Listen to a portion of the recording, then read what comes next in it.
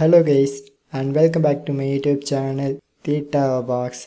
So today I get the following one error notification while I try to send the friend request in Facebook and it shows you cannot use this feature right now. We limit how often you can post, comment or do other things in a given amount of time. In order to help protect the community from spam, you can try again later.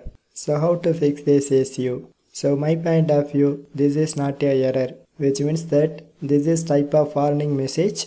So for example, here I try to press the add friend option in continuously from this particular person. So after the few seconds, it shows that same message, but sometime it shows another notification. Sorry, we cannot process this request right now. Please try again. And both of the notifications are same so friends, if you get this message, don't do any activities from your Facebook account for few hours because sometimes this Facebook team will block your profile if you continuously doing this kind of things.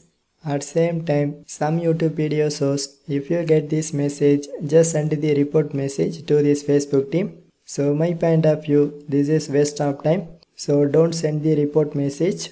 So anyway, this video not have a solution, then why I create it. So the video making purpose is just I create one awareness about this kind of message. So friends, if you have any doubts, just comment to me. So otherwise, just leave your one like. So for more tech videos, you can subscribe my beautiful tech channel, Theta Box. And thanks for watching.